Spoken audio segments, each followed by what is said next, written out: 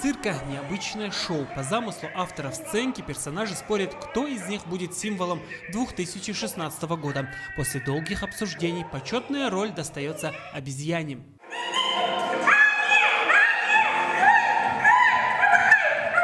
В этом году и в последующих, конечно же, все будет на земле хорошо.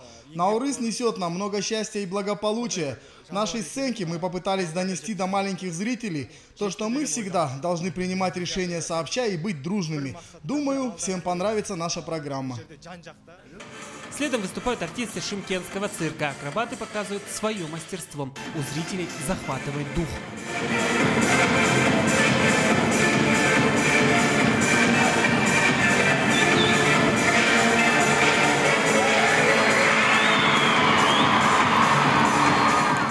За акробатами на сцене цирка появляются символы благополучия и добра – голуби.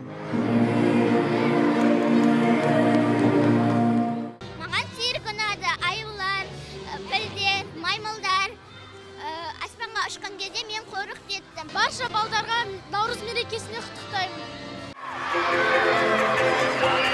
Пока клоун по кличке Пипка развлекает собравшихся, к выступлению готовятся канатоходцы. Они выступают со смертельными номерами, причем балансировать под куполом цирка артисты привыкли без страховки.